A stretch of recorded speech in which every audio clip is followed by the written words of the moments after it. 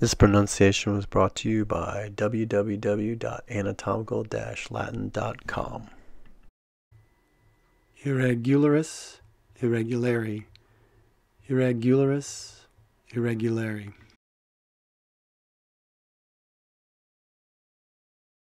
To learn the grammar and vocabulary of anatomical Latin, please go to www.anatomical-latin.com.